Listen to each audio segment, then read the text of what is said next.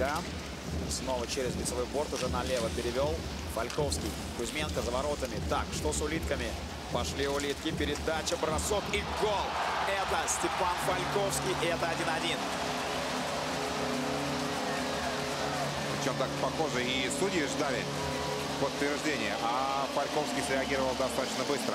И причем из-за нападающих, которые находились на площадке в составе СКА, остался как раз один Андрей Кузьменко.